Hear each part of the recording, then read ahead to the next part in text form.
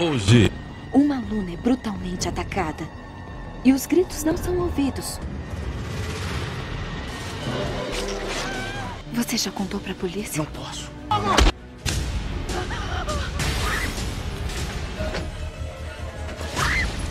Quem está fazendo isso irá atrás de você de novo. Hoje. o Cinemaço.